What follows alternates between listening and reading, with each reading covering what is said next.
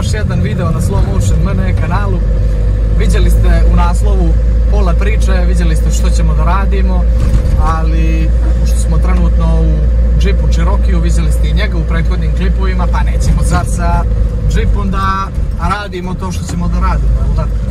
Idemo mi polako da vidimo što radi Mečka, jer opet stoji u garaži i o tome ćemo da pričamo i zašto stoji u garaži, možda ne u ovom klipu, možda u sljedećem, ali definitivno će biti pomena o tome i evo, krenuli smo tamo pa se vidimo. E, ljudi, snimili bi mi ovaj klip, boga mi i ranije, ali smo čekali naravno da krene da pada kiša, jer ovo je za nas fenomenalno vrijeme. Ako za vas ovo loše vrijeme, za nas je ekstra. Znači ne može bolje. Zato što nisam baš siguran koliko bi po suvom vremenu mogao Mercedes da napravi ono što treba da napravi. Super, vjerujte mi. Sa džipom nema, nema. Ne očekujte nikakvo ludovanje.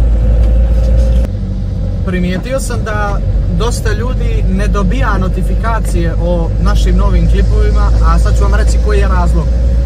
Morate jednostavno da kliknete zvonce koje stoji pored dugmeta subscribe, jer vi ako kliknete samo dugme subscribe, vi jeste subscriber, ali nećete dobijati notifikacije o novim videoklipovima, tako da molim vas da to učinite i da nas zapratite obavezno na Instagramu i poručite naše nove majice dobro ipak sad ne nosim majicu jer je napolje za ovo vrijeme rekao bih minus 15 i vidite kako sam se obuka, ali i majice ćemo vam pokazati čim stignemo kući. Mečkica je tu, ljubi je tatko, ajmo sad da vam pokažem majice. A evo ih majice. Majice ste već mogli da vidite i u prethodnim klipovima, tu je logo Slow Motion, ovdje piše ne pozadi piše slow motion, ne, završit ćemo. Dobar je kvalitet. Da ne biste pitali svi pojedinačno koliko koštaju majice, ja ću vam reći koštaju 10 eura, a možete ih poručiti kod nas na Instagram stranici u DM, tamo nas zapratite.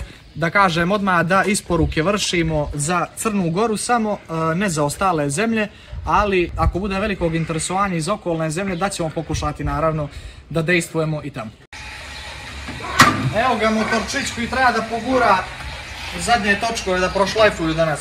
Čovječ ovdje nema akumulator. Pogledaj Ajde ovamo da, da ovaj akumulator donesemo, nema toga ljeba.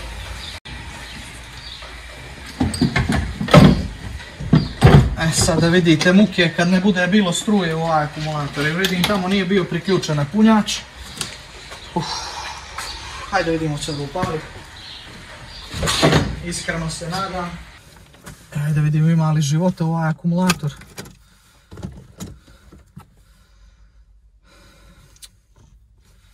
Mora dobro da se zagrije svaki put. Evo ovako od klipa do klipa se bukvalno ne, pali. Znači kad smo zadnji put snimali s njim ima sigurno 20 dana, mjesec. Ali prelagan je lijek totalno. Evo je čitav glibav.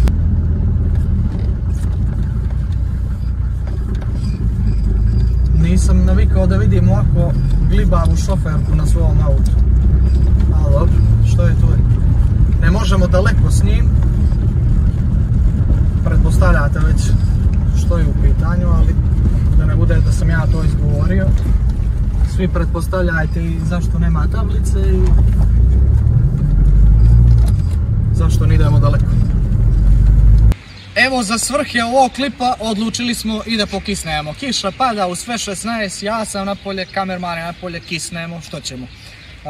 brzo ćemo da palimo gume, ali prije toga hoću da vam kažem da će u sljedećem klipu biti prisutna jedna tema koja je meni ovako jako interesantna i o kojoj bih želio da prodiskutujem sa svima vama, tako da ću željeti vašu podršku u komentarima, odnosno željeću da vaše mišljenje iskažete u komentarima na ono što ja budem pričao. Priča će se e, ticati policije jer definitivno imam šta da kažem.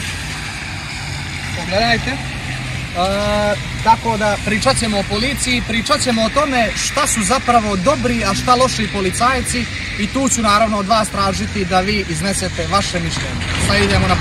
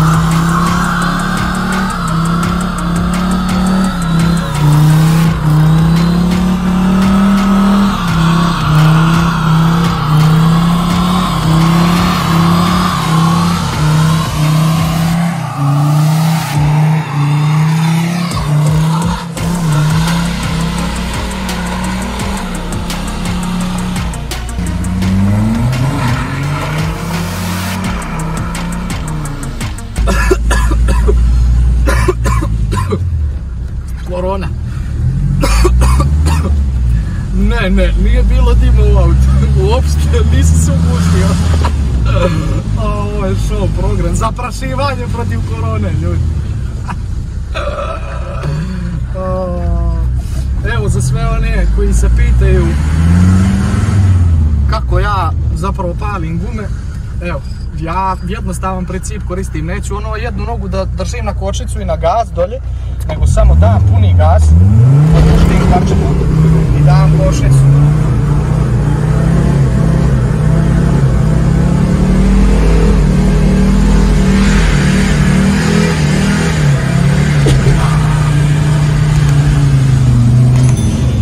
Ima života u njega, to je nešto što je sasvim sigurno. Vidite ovako, znači sad je došlo je tako vrijeme da bukvalno mora da se snima ono što svi mi youtuberi zovemo shit content, a moga bi se isto i prozor zatvoriti pošto ovaj auto ko se da gas malo se čuje.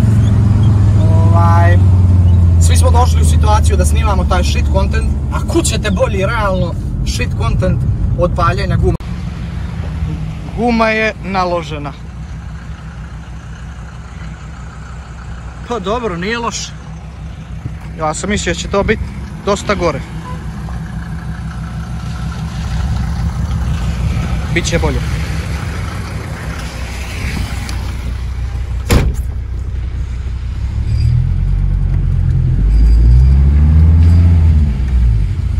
Pa ono što mi nikad ne bi palo na pamet da nije došlo ovo vrijeme kakvo jeste sad, jer e, neću da uzimam tuđa auta na testove, neću zbog svoje sigurnosti i sigurnosti drugih ljudi, e, svoj krug prijatelja, odnosno krug ljudi sa kojima se gledam svih ovih e, dana, sam sveo na najveći mogući minimum, gledam se znači bukvalno samo sa dvije osobe povremeno i to ovako za potrebe snimanja klipova. To je to, znači ne dovodimo sebe ni u kakav rizik, ali možemo da zaprašujemo protiv korone, jer definitivno ovaj auto i dalje nije umro. Pišite nam dolje u komentarima, naravno, sviđa li vam se ovaj burnout, sviđa li vam se paljenje guma na naški i odmah da se ogradim, znači ne pamtim da sam ovako zapalio svoje gume. Znači, baš ne pamtim, jesam palio gume, znači nekoliko puta do sad, ali baš ovako, ovoliko dugo, mislim da nisam. Tako da budite sretni i zadovoljni što sam upravo za potrebe ovog klipa i za vaše zadovoljstvo to uradio. Pozdravljamo vas ljudi do sljedećeg klipa gdje će opet vas podsjecam biti jedna ovako dobra tema, tema gdje ćete se svi nadam se uključiti. Do tad veliki pozdrav od Slow Motiona, od mene lično i od svih ljudi koji mi pomažu. Ćao! I prije nego stvarno odemo, evo da vidite mečka je vraćena u garažu. Pišite nam da vidimo šta biste vi željeli još da mi snimamo sa ovim Mercedesom, imate li neke posebne zahtjeve. Ja iskreno nemam neku ideju, ali čeka se definitivno da sve ovo prođe, da dođe neko bolje vrijeme i da se naravno u mečku ubaci neki ozbiljniji motor, a onda će tek gume da idu kao lude.